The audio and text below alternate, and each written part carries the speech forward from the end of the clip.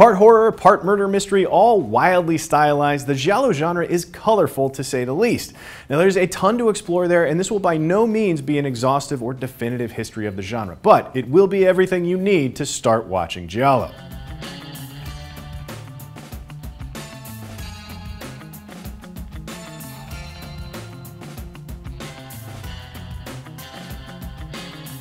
So we're very excited about the remake of Suspiria coming out next month, so now is a great time to start diving into the genre it came from, the Italian mystery slasher genre of giallo.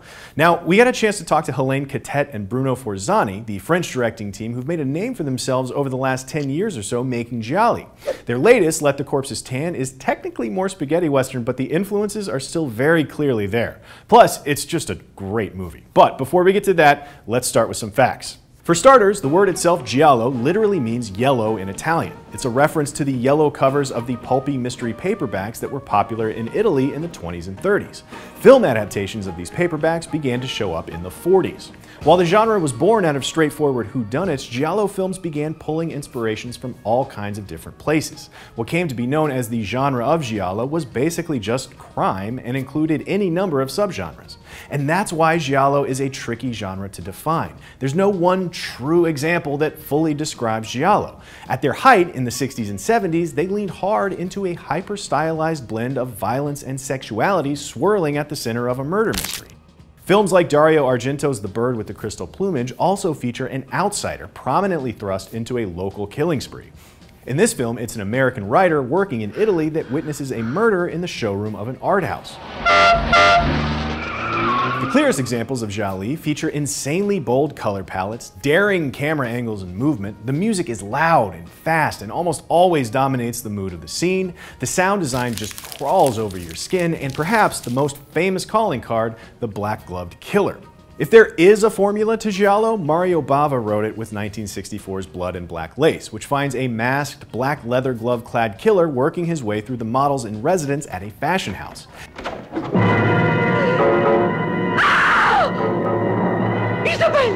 As the genre flourished from the late 60s to the late 70s, including Suspiria in 1977, nearly every filmmaker that made Giallo films owed something to Blood and Black Lace. Nearing the 80s, the genre began to give way to the prominence of its own subgenres. In America, slasher films like Halloween and erotic thrillers like Fatal Attraction helped launch popular film movements of their own. But, to be honest, I've only got a surface level appreciation for these films. I'm not the expert. That's why I spoke with Helene Cattet and Bruno Forzani. We talked about the roles Giallo films have in their work, and they were in New York, and I was in LA, so thanks in advance for bearing with the phone call audio. First of all, Let the Corpses Tan is a blast. So uh, thank you for, for making it, honestly. it's a lot of work, so thank you. but to uh, to shift gears real quick to talk uh, talk more specifically about Giallo films, I wanted to ask you guys directly uh, how how is it that you like define a Giallo film? Like, what does a Giallo film absolutely have to have in it? yeah, just, I'm just gonna start with the tough. Yeah, really, really hard to define Giallo. I see three different kinds of films. You have the Giallo, like uh, that Mario Argento, uh, Mario Bava made, who is like a it with a black uh, uh glove killer, uh, murders who are very erotic, murder as art, if I could say. Sure, sure. There is a second uh, area. Someone is manipulated by a group of persons not about uh, a killer with black gloves. It's more uh, like a conspiracy thing. Uh, voilà. And after you have like uh, more erotic thrillers. There's no especially uh, black glove um, killer, but uh, you have a situation mixing eroticism and violence. But voilà. So it's very, but it's a very difficult genre to, to define. But I think the the most representative is uh, the Mario Bava and the Dario Argento uh, aspect with the black gloves and the, the whodunit style. Yeah, that was going to be my next question. Is what uh, you know? What's a movie that might be the most sort of center cut kind of best example of a giallo film for you? It would be one of one of theirs. Uh, Deep, Deep Red from Dario Argento. Yeah, Deep Red for us uh, you know, it's the movie that makes us uh, collaborate. It's an uh, entertaining movie because you have the detective aspect, the whodunit aspect, but it's so creative in the directing, uh, in the ideas, uh, in the architecture, in the music. Uh, it's a it's a masterpiece. Uh, for me, it's the best Giallo ever made. There's such a specific feel to the Giallo films, like like you've been talking about, like from a technical sp- t- standpoint. And in your guys' films, you do, especially with Let the Corpses Tan, like the the leather creaking and the the colors palette that you, that you use. What's the most interesting thing for you guys working in this space uh, from a technical standpoint? Well, for us, uh, Let the Corpses Tan is more linked to uh, spaghetti western, but there is that aspect of uh, leather. In fact, when we watched Giallo as an audience, when uh, you have the final resolution, when you see the who, who the face of the killer, it's so metaphoric. It's symbolized for us by the leather. So when we, we make our movie, we found that uh, leather sound creaking is very sensual, very fetishistic because uh, in these Giallo movies there is a lot of fetishism. And we love to, uh, to, to take this figure to have another meaning because it's so strong. It's a very strong imagery. So that's why we we love to to use this uh, character, but we really don't like to um, to see his face at the end.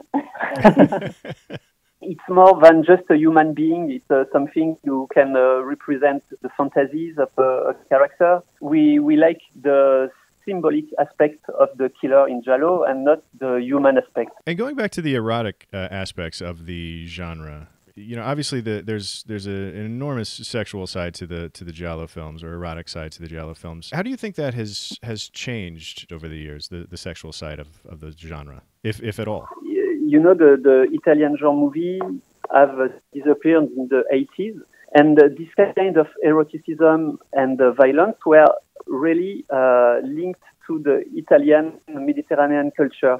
But us, that uh, link uh, between uh, eroticism and violence that we like because it's kind of uh, poetry, morbid poetry. For us, it um, allows us to talk about human relationship, love, fantasies, the body, the body, the desire. So it's a strong uh, um, language to talk about desire. Is there a place that people should start uh, is there a, a, movie that people should start with to dive into the genre? Deep Red, Deep Red uh, from Dario Argento with uh, voilà, the best.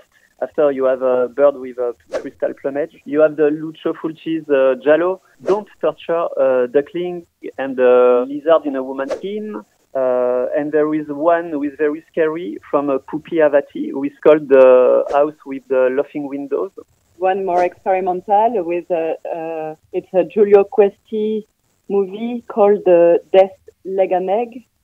Uh, well, very cool. Thank you so much uh, for for sharing your expertise here with us. And and again, Let the Corpses Tan is is a really really fun movie. I, I had a blast watching. Thank you very much. Bye. Bye. So even as Giallo films slowed to a trickle in the 2000s, the influence of their unique combination of the erotic, the violent, and the mysterious can still be seen everywhere. Think about Black Swan, a dancer psychologically cracking on all fronts. Nicolas Refn's Neon Demon follows a model into the darkness of the industry. You can even find the genre's influence in films like Nocturnal Animals or Nightcrawler if you're looking for them.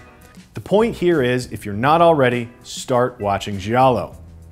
So hopefully that's enough to get you started with Giallo films. It's a truly interesting genre. Thanks again to Helene Cattet and Bruno Forzani, and be sure to check out Let the Corpses Tan as soon as you possibly can. It's definitely one of the more unique movies that you'll see.